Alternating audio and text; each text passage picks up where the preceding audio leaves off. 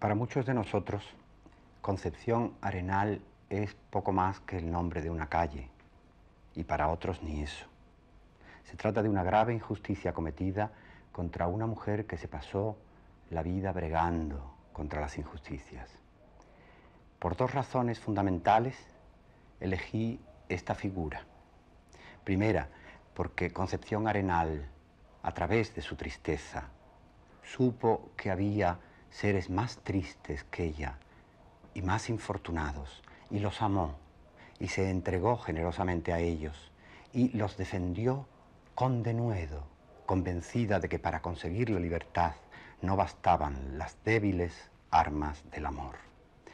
La segunda razón es que Concepción Arenal es un ejemplo de apasionado, formidable, continuo, ciego trabajo cotidiano algo muy extraño entre los españoles, que somos capaces de un 2 de mayo, de un 3, de un 4, pero que al llegar junio decimos, hace mucho calor, vámonos a la playa, sin darnos cuenta de que el mejor pescador es el que tiene la paciencia más larga, no la caña.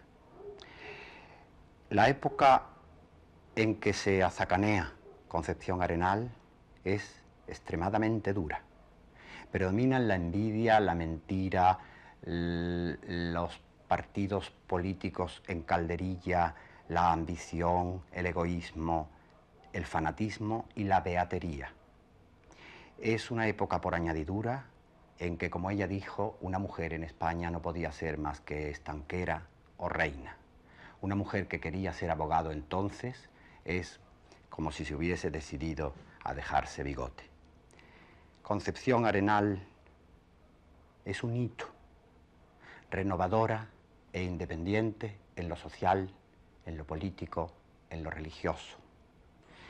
Es un poco el antecedente de aquellos pensadores que precedieron a la Revolución Rusa y tiene maneras de santa laica, con los pies muy afirmados en la tierra y con la cabeza en la utopía. Por eso gran parte de los problemas que ella abordó siguen todavía sin resolver, aunque su voz nos parezca anticuada. Hoy está con nosotros Concepción Arenal porque contra la auténtica solidaridad humana nada puede la muerte.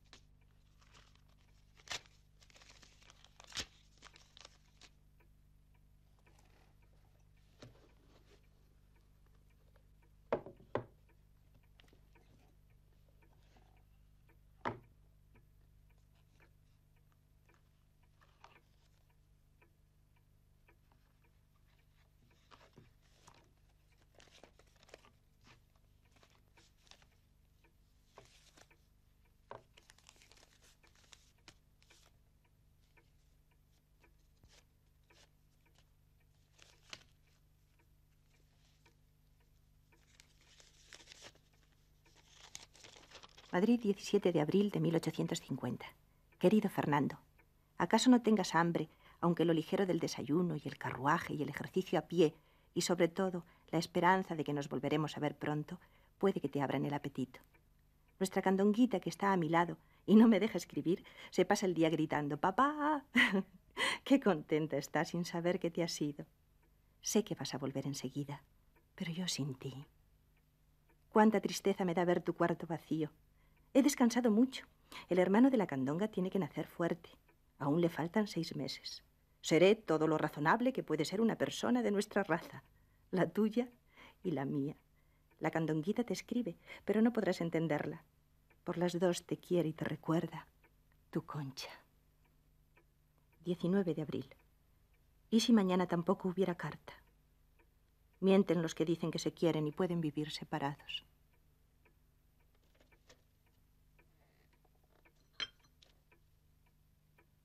21 de abril. Pronto, pronto.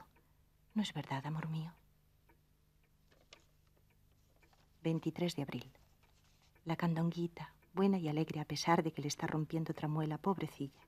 Y a ratos tiene las manillas calientes. Todos los días le digo que hemos de ir a buscar a papá en un coche con unas jacas. Hace año y medio nos hubiera parecido a ti y a mí una puerilidad. Y ahora nos parece lo más razonable del mundo. Tengo gana de que llegue mañana, a ver si me dices algo de volver y a ver si me dices cómo estás y lo que piensas. Lo que sientes ya lo sabe tu concha. Vamos a escribirle a papá. Papá mío, venga usted pronto a dar muchos besos a la candonga. En todas las vidas hay una parte ilusionada, brillante, ambiciosa enamorada e insensata. Y es bueno que la haya, pero acaba tan pronto, anochece tan pronto. Nada de aquello existe ya, Fernando. Nada de aquello existe. Ni yo siquiera. No soy yo aquella jovencilla que aspiraba a amar y a ser amada, a escribir, a triunfar en la poesía y en el teatro. ¿Dónde estará ella? ¿Dónde estaréis vosotros? A estas cinco cartas se reduce tanto amor, tanta alegría, tanta esperanza. Lo que menos le interesa a nadie de Concepción Arenal es lo único que no puedo romper.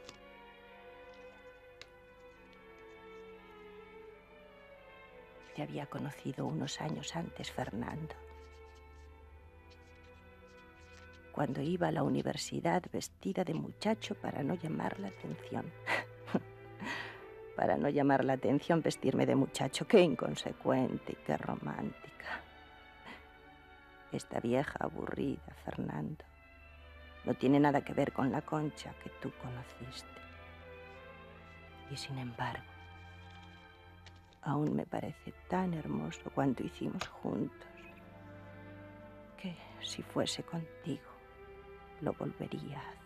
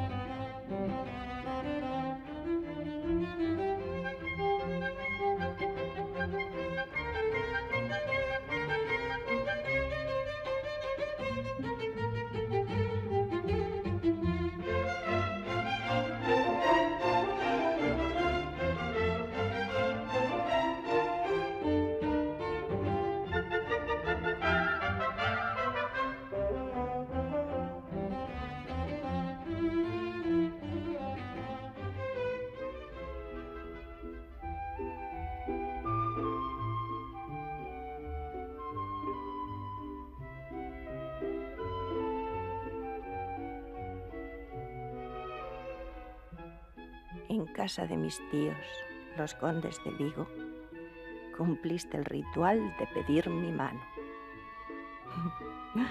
¿Cómo nos reíamos de esa expresión y de esa ceremonia? Pedir la mano. ¿Dónde fue todo aquello?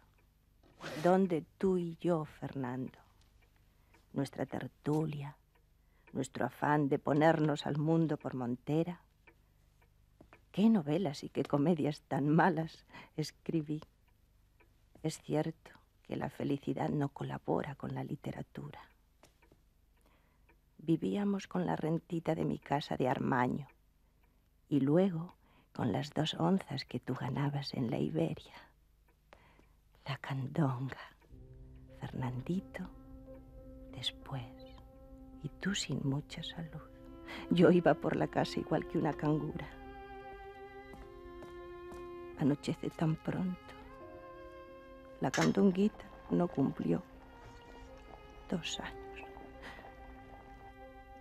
Nadie a quien no se le haya muerto tan sin pensarlo un hijo sabe lo que es de veras el sufrimiento humano.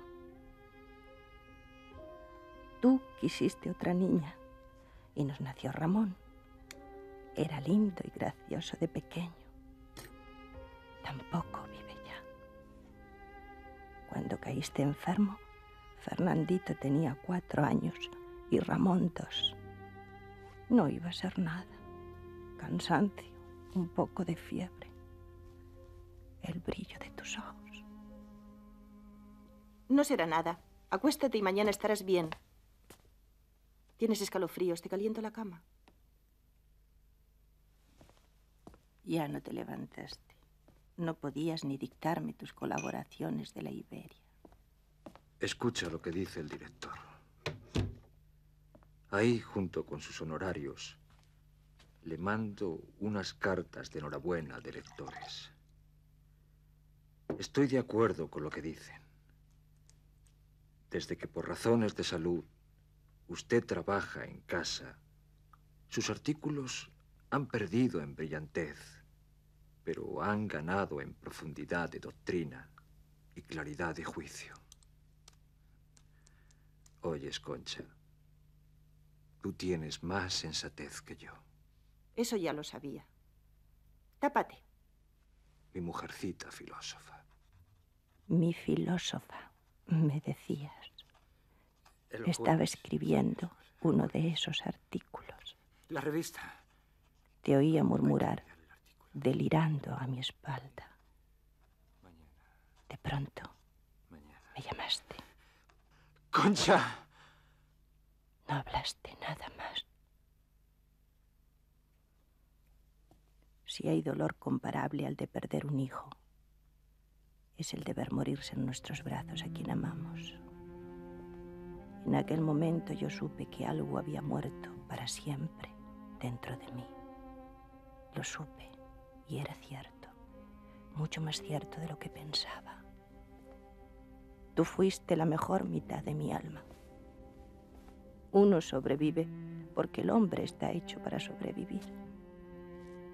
Cuando alguien pierde el brazo derecho, se ejercita en vivir con el izquierdo. Trabaja, come, incluso aprende a acariciar con el izquierdo. Pero a nadie, jamás, vuelve a crecerle aquel brazo derecho que tenía. Jamás, Fernando. Ahora miro hacia atrás y veo lo pronto que anocheció en mi vida.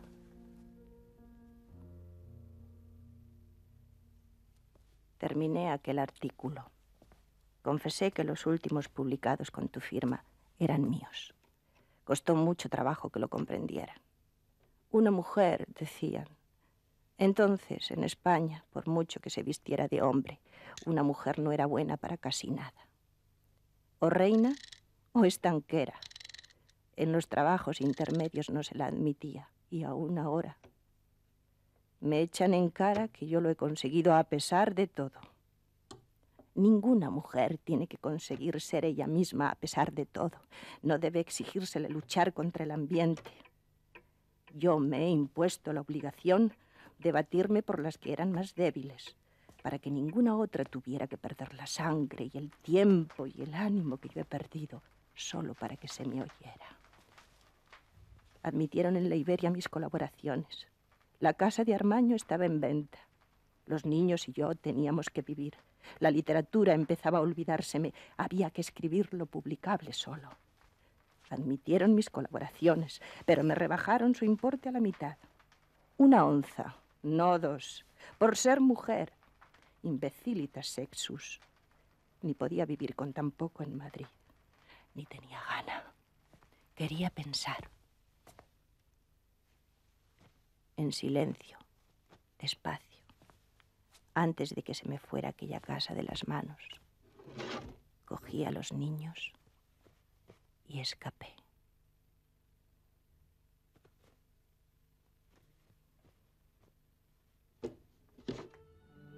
Todo el valle del Liébana nos recibió sonriendo.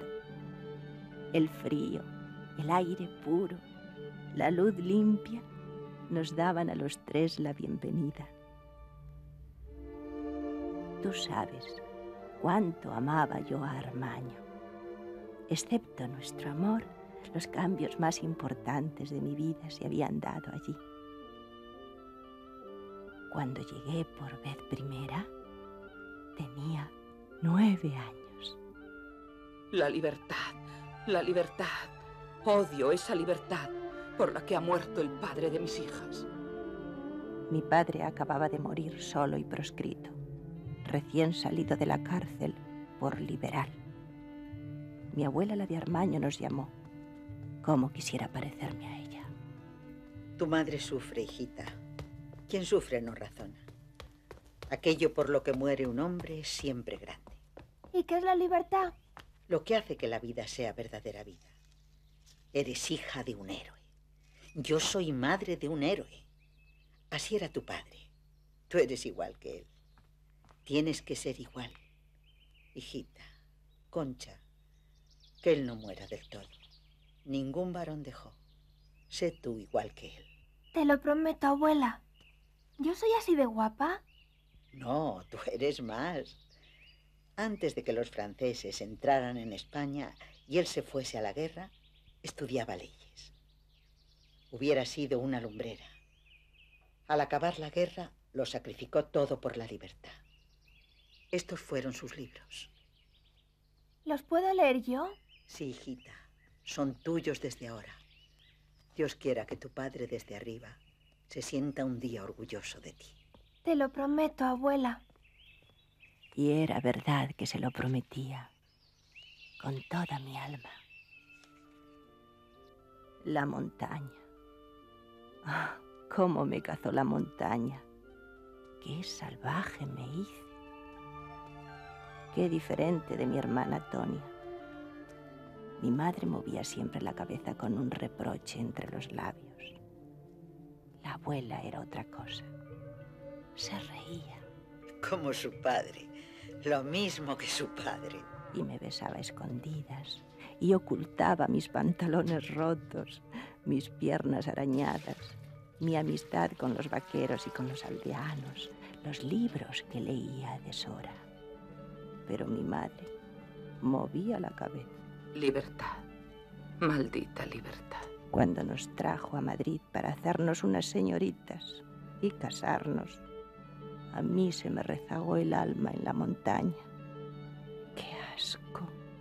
Aún hoy me da náusea recordar ese arte de malbaratar el tiempo al que se llama educación femenina. ¡Qué asco!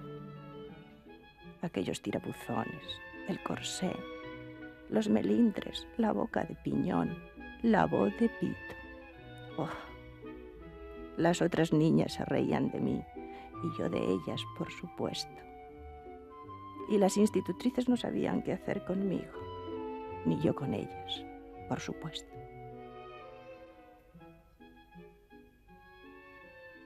Mamá, lo he estado pensando muy detenidamente y ya lo he decidido. Quiero ser abogado. Quiero terminar la carrera que mi padre empezó. Es una broma tonta. No es ninguna broma. Entonces es peor. Es que estás loca. Ya me temí que acabarías matándome a disgustos. Hace mucho que me lo temía. Pero nunca creí que llegaras a esos extremos. Abogado, una mujer. ¿No sabes que a las mujeres no se las deja entrar en la universidad? Si alguna lo intentase, claro, porque no sé de nadie, ni de una sola que lo haya intentado. Qué disgusto. ¿Pero qué es lo que quieres? Una mujer como es debido se casa, tiene hijos, es femenina, concha. Abogado. Igual que si me dijeras que vas a dejarte bigote. Abogado. Cada vez que lo pienso me da más vértigo. Una solterona triste en un asilo. Parece que te estoy viendo. Por tu culpa todos manchados. Yo, tu hermana, tu pobre hermana, a quien ningún hombre pretenderá por ser eso precisamente, hermana tuya, hermana de ese marimacho. Qué horror. Qué horror. Las cosas eran así. No la culpo. Ya se lo había oído decir. La libertad la odio. Lo de ella era la caridad. Mi padre, sin embargo, tuvo que ser violento. Sería inútil aspirar a la libertad con las únicas fuerzas del amor. Mi sueño de la universidad había terminado. Demasiado daño a quienes quería. Tuve que renunciar.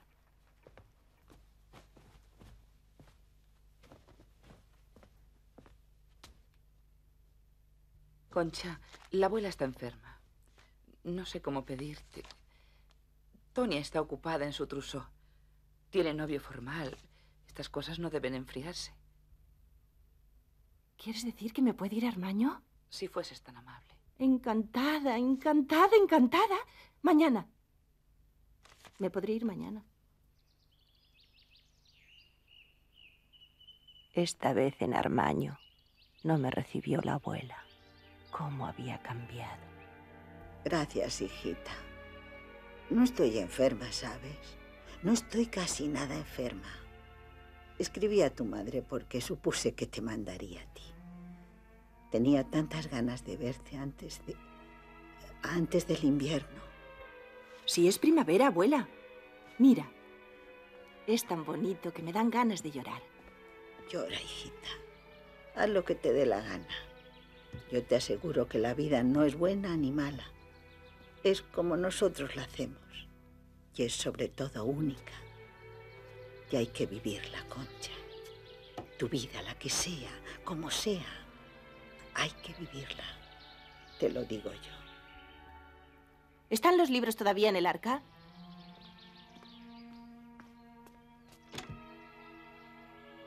¿Y estos trajes? Serán de alguno de tus tíos. La vida que uno elige libremente es la que hay que vivir hasta el final, cueste lo que cueste. ¿Verdad, abuela? Hasta el final, sí, hija. Gracias. Ahora sé a qué he venido. Ya estoy mucho mejor. No era verdad. Fue la primera muerte que veía. La amortajé con su traje de muere negro de las fiestas. Le puse sus botinas y en las manos un ramito de flores. La metí en la caja. La acompañé hasta el cementerio. En el fondo la llevaba conmigo. Cuánto quisiera parecerme a ella. Me había dejado como mayorazga la casa y las tierras de Armaño, con sus rentas y los trajes de mis tíos yo ya sabía lo que tenía que hacer. Con ese traje viví mi breve historia de amor y de rebeldía.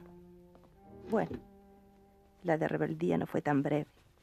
Ha durado hasta hoy. Pero el traje no. Él ya cumplió su oficio.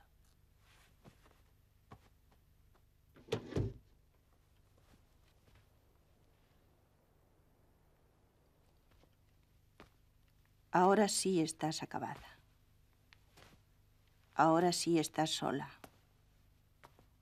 Ahora sí estás hundida. Dos niños y tu desdicha. Eso tienes. Y una vida que no sabes en qué emplear porque ni siquiera la deseas. Ya es tarde para todo. Ni Armaño es tuyo ya ni tus recuerdos, ni la que un día fuiste tú te pertenecen. Vete. ¿A dónde? Nadie con quien hablar. Nadie en quien apoyarme. Nadie. Nadie. ¿Qué espero entonces?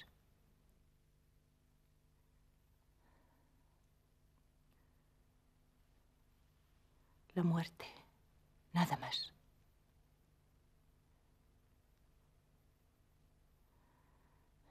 Me llevaré tu retrato y tus libros, padre.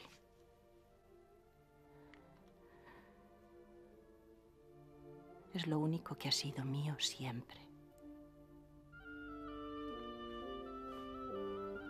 Adiós, Armaño. Adiós, vida. Adiós, Concha Arenal ilusa. Todavía me duele aquella cima oscura de la que no parecía posible salir. Qué misteriosos los caminos de Dios y qué torpes los nuestros. Aquí resucité, digo resucité, y ya no pienso en los días infinitos que no se distinguían unos de otros, los días del trabajo y la pena, cuando me refugiaba en los libros, como quien se pone delante un antifaz para no ver la noche profunda alrededor. Jesús de monasterio, genial violinista y más genial amigo.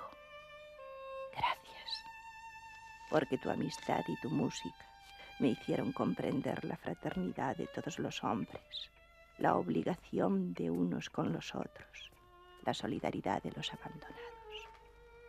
Más de 35 años de amistad no necesitan pruebas. Siento que me voy a morir de tristeza. No se mire a sí misma. Mire en torno de usted. Hay seres más tristes y más infortunados. ¿Es que yo tengo algo? Su inteligencia, su fuerza, su generosidad y el deber de emplearlas. Pero ¿y yo? ¿Y yo?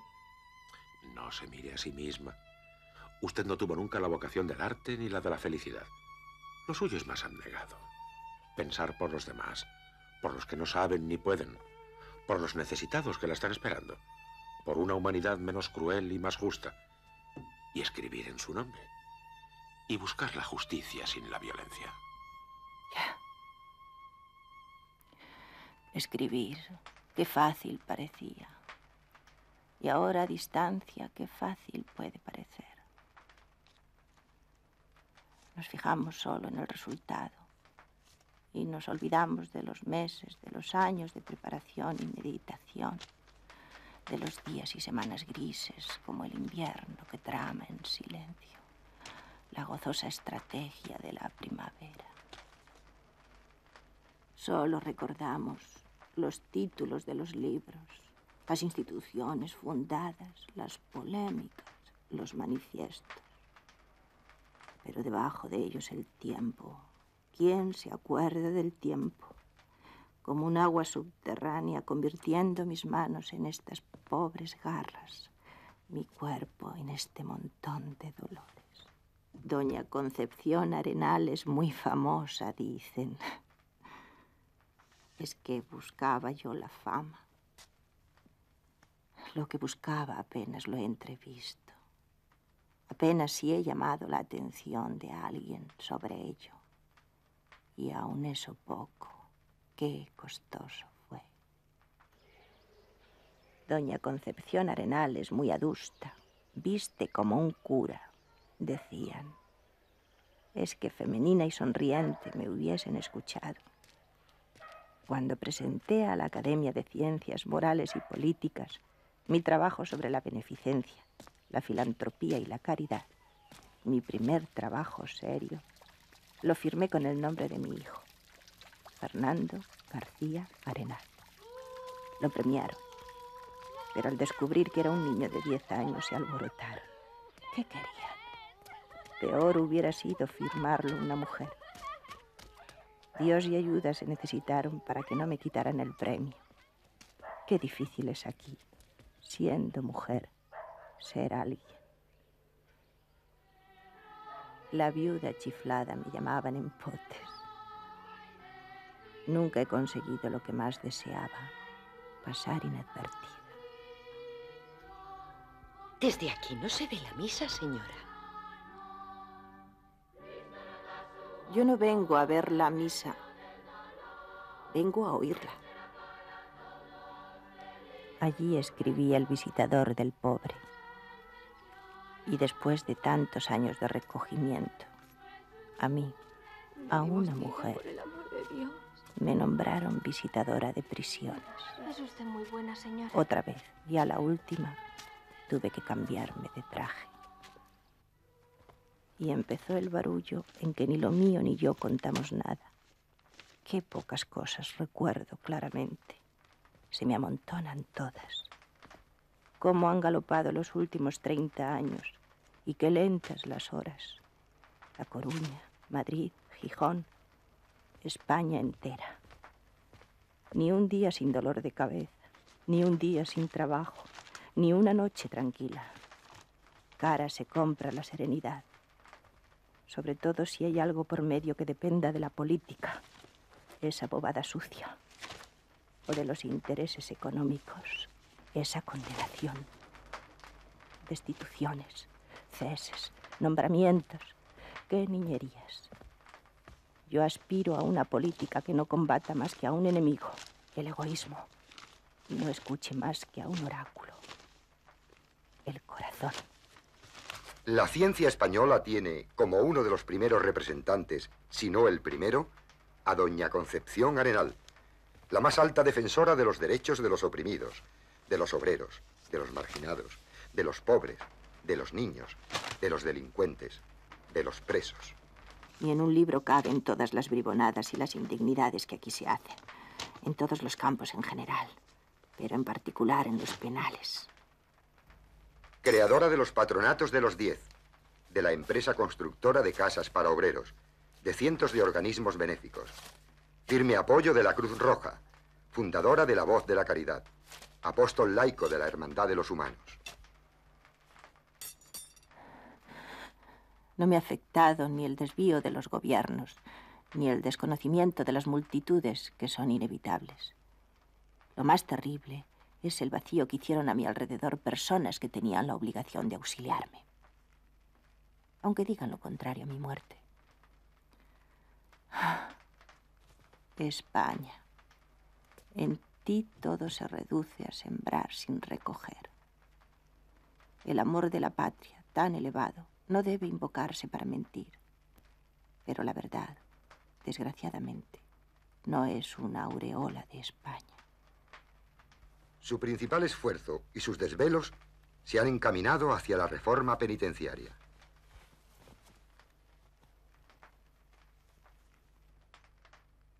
Desdichado pueblo, la última de cuyas necesidades es la justicia. Hay que empezar para la reforma de los presos, por la reforma de los guardianes y de la sociedad. El rey don Alfonso XIII lo ha proclamado gracias a ella.